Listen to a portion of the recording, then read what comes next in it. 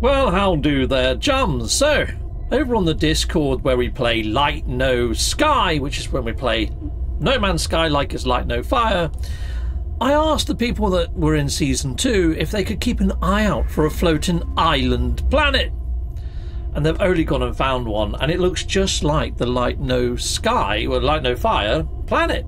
So I'm going to hit up the code. Sadly, I can't share this out with everybody, and we probably will. Sh- I'd share this code out after we've done season three of Light No Sky. Anyway, I'll see you on the planet at the other side. This was found by one of my members called High Tech. High Tech, if you're watching, thank you very much. So I'm showing off this planet not just to show off. I'm showing this planet because there is a few issues with it currently. I mean, it's one of the floating island planets that everybody's looking for, but you might want to change your mind after you see the contents of this video. So here we go, we've arrived located up the opposite end, and it says first contact. This was found by High Tech, it wasn't found by me, which is a little bit odd, Discovery Service and all that sort of shizzle, but look at this, it's got lovely trees on this planet, and it's got the floating islands most importantly which looks like something straight out of avatar. And you know my ship looks like it's straight out of avatar as well doesn't it people? Now my last video was a little bit pixely. Now i sort of just entrusted that hello games had improved all the graphical settings. But no to get these graphical results i'll show you my pc settings towards the end of this video. But i want to try and find an island now that has like a waterfall coming off of it. There you go, look, these ones over here. Now let's go and land on the island. So this is what I'm being told is a bit buggy. Now I have been told that certain ships are a little bit haphazard with landing, but I have heard that some people can land on them. I can land on these islands with ships that hover in place, but you can't land on islands with ships that can't. So I can land on it with this one, but then saying that, people have said that they can't land on these islands with the Starborn Runner.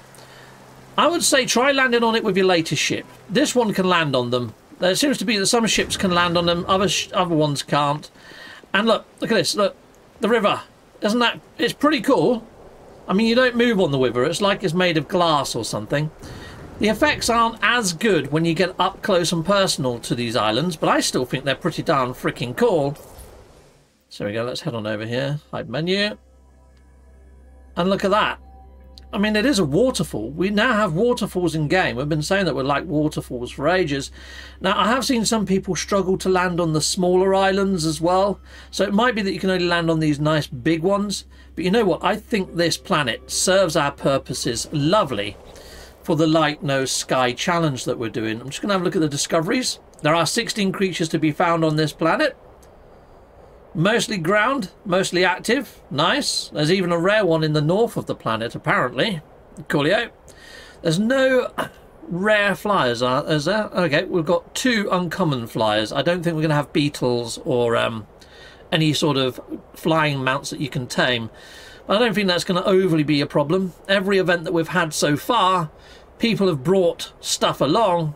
You know what? I'm gonna I'm gonna rename this anyway. Uh, so here's one here. I'm going to name this as potential... Well, I, will name it. Oh, I'll be a second. Okay, well, I've called it the LNS Season 3 found by High Tech System, and the actual planet itself, I've just called it Light No Sky Season 3 Planet, which is pretty darn cool. Done, diddly, and done. I'm not going to scan anything on the planet. I'm going to make this video, present it to the guys, you know, Ricey and Cynical, see if they want to sign off and say, yes, this is a planet that we're going to use. But I'm loving the blue skies. I'm loving these islands. Let's take a look at the water on this planet. Let's see the colour of the water. Ah, oh, look at them clouds. Okay, let's just try landing on a smaller island quickly, because some people are saying that they, they're falling through these islands and they can't land on them. Yeah, look, I can fly through it. I can fly through the smaller islands. So this is what they're on about. Now inside the patch notes it says jump from island to island. You, you can't really. You can't leap, hop, skip and jump from island to island. The only islands that seem to be that you can land on and do anything on seems to be the bigger ones with the waterfalls. I mean, this one's quite large, but no, I can still fly straight through it. Let's see if I can fly through the one with waterfalls on. Or whether I bounce off of it. Let's have a look. No, see, I can't fly through that one.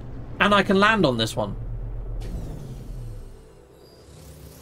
So it does seem to be the bigger islands you can land on, the smaller islands you can't. I can kind of live with that, especially for the event that we're doing anyway. And if you didn't see season one and two, basically there's like there's going to be four factions four factions in season three ghostlight is heading up the new faction so if you want to join ghostlight he's freaking awesome if you haven't seen ghostlight's channel hunt him down in fact i'll put a link up there just to make it easier for you but he's awesome so yeah anyway i'm going to fly and find the oceans so there's there's a few factions. There's Ricey as well, Ricey Starship Emporium. Again, awesome content creator if you haven't hit him up. He does loads of starship finding, if, if the name didn't sort of give that away. And then there's also Professor Cynical. And Professor Cynical heads up the Coriolis Kingdom. Now, Cynical, if you don't know Cynical, he's like the glitch master of No Man's Sky. He finds duplication glitches, he finds like weird things and oddities inside of the No Man's Sky verse, and he brings that into this this whole freaking event. He's always doing something weird. Um, usually involves murdercating people to the point that we might actually adapt the rules a little bit differently this time. Before, if you got killed, you stay dead.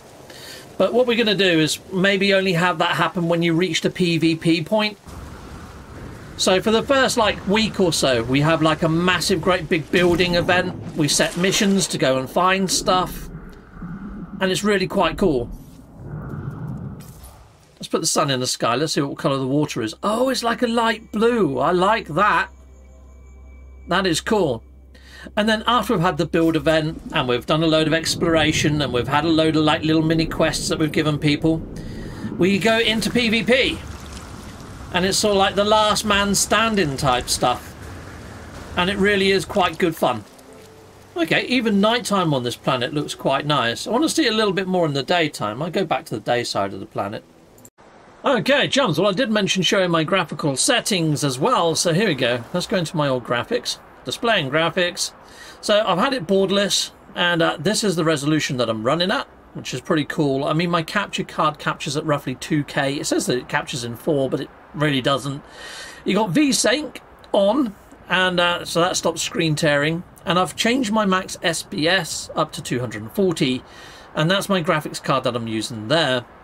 Scrolling down a bit my presets are custom and I've got like texture quality on high, animation quality on ultra, shadow quality on high, post processing on ultra, reflections, I've moved that down to enhanced because it it interferes with other things and that's what's causing the pixelization, which is a real shame. The volumetrics though, I've put that onto ultra. Now Jason has his on high. The only reason I've added it on ultra is because I really love these new clouds and I'm hoping it helps with that. Terrain tessellation as well is what's also causing that pixelization. So I've put that down to enhance to match that to Jason's. And then I've also put this on high, water quality on high. I was tempted to put it on ultra, but you know what? I don't spend much time in the oceans. I mean, yes, I might spend a little bit of time at the actual uh, lakeside. I've, I've stood at the lakeside on ultra and on high. I physically don't see any difference with my eye peepers. But base complexity, I've put that as high as well, just because I know that I visit a lot of planets that have got big big bases on and I don't want to put it on ultra because that might cause my frame rate to take a dip as the base lose, uh, loads in. So I've left it on high. Anisotropic filtering I've put that on 15 Gateau I've left that on high and anti-aliasing I've actually turned that off. Now I know that Jason has one of his um, he's got a different graphics card than me. He uses GeForce and he's got a GeForce one in there that isn't available to me. But because I don't know enough about this anti-aliasing and everyone that I've selected on my AMD gives some sort of weird pixelization or a film grain or makes it look like it's from sort of some 80s movie I turned it off. I've also turned off motion blur. Yeah so that's that's my settings. That's what's working for me, and that's what's giving me this nice, crisp, super sharp sort of look in here.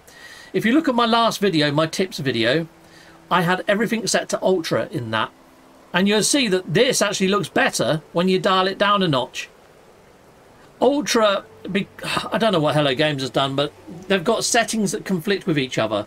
So it's best to dial down some of those ones that conflict with each other. Uh, uh, and then you get a super sharp, awesome image like this. Okay, people, that's my settings anyway, for those interested. Jums, the more I explore this planet, the more I fall in love with it. I mean, look at these These frongs, these... Oh, they're freaking awesome. They really are. Let me just... I think I might be in creative mode. Let's just stick it back into normal, just in case this has got extreme sentinels on here. That'd be terrible. I mean, it's the perfect planet otherwise, isn't it? Okay, let's have a scan. Sentinels are limited. Brilliant. The weather does have superheated drizzle, but I think I can live with that, especially with all these new volumetric effects. This planet is just ticking all the freaking boxes right now. It really is. Okay, so a new rule that we're thinking of implementing is if you've had your previous saves, like, you know, uh, my Viking save, etc., you can just carry on using that previous save. So all the tech that you managed to get from last season carries over. You know? Or if you want to start a new character, you can. It's completely your choice. It depends how much time you've got to invest in the grind and if you enjoy the grind. So the choice is yours. So rather than have knights this season, especially with Ghost moving over to his own faction, and a couple of the other people that have played in other factions, like I think Boo Boo Kitty might be going to join Ghost. So there might be a little bit of a rebalancing and restructuring. Also, last season I had far more people in my team than the other teams, which gave me an unfair advantage. So this this time we might be asking people to select one or two different uh, groups that they want to be part of. So you could put first choice Captain Steve, second choice Ghostlight, or first choice Crayola Kingdom, second choice Ricey. And it might be that you might not get your first choice, depending on how many people are already in that crew, but you might get your second choice. We might even put first choice, second choice, third choice. I don't know. But um, I'll leave it down to um, uh, Cynical, because he actually puts the forms together. But hopefully we'll be putting together new rules and things like that we just want to give people enough time to get into this update, experience the update, and then put it out there. Now, there is an expedition about to run as well, so we might let the expedition kick in and let it run its course for a couple of days until, you know, we've all done our content on the ex actual expedition as content creators, you know, like Ricey, Ghost, Cynical, and I. And we might come back to the season three in a bit, but it's happening. It's definitely happening. So stay tuned. Keep an eye out on our community tabs and our discords. And you, if you are hoping to join Ghost, make sure you go and hit up his Discord. Go hit him up on um, YouTube. Make sure you're subscribed. I mean, he's over in the US. So we're adding a whole new time zone to this as well. So if you're a US player and you found it hard linking up with myself, Ricey, or Cynical due to time zones, that might be a reason to go and hit on up Ghostlight because he's in the US. Heck yeah, and we are hoping each season now to look for maybe another content creator that's been with us through the seasons. There's Gifox Gaming, there's Good Guys Free. There's a couple of people that we might consider then making a faction leader in, uh, in the next upcoming season and grow this out and just see how it goes. We want to see how it goes.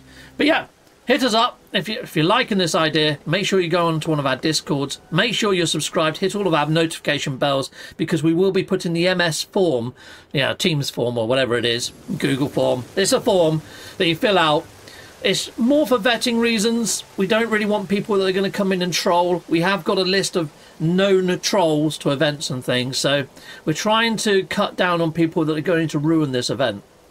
So yeah get yourself over and uh, make sure you're looking out for that. Like I say, it might not come out until maybe a week into the expedition running or four or five days. It depends on how much much time it takes to do this new expedition. It looks like this new expedition is going to have a community driven bar where we're unlocking this new mech. So it might have time gates in it. So it might be a little bit longer than what I'm envisaging. But at the same time, I'm loving this planet, um, high tech. I really am.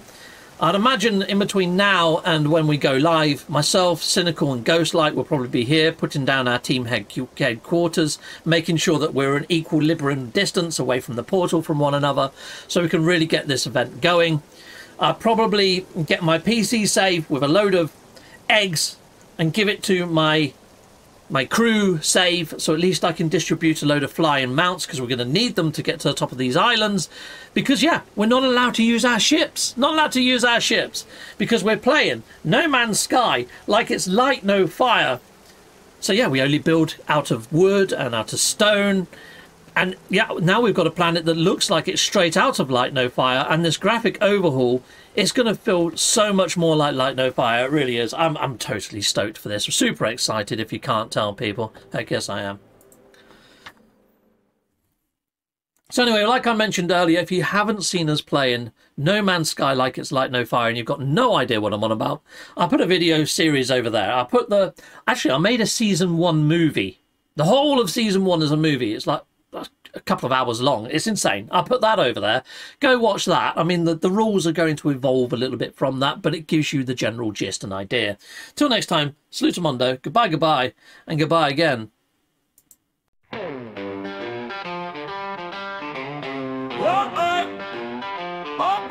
seven hat, yes, here we go. Like and subscribe. Thank you to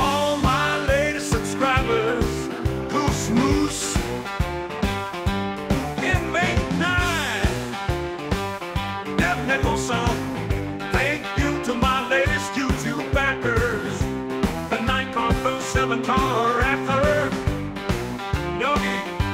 Lounge. Thank you to my latest backers on Patreon. Some gone. Sir roll.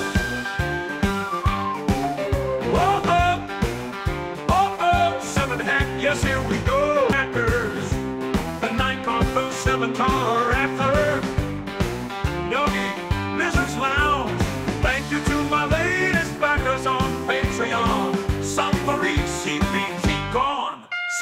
Patreon. Some for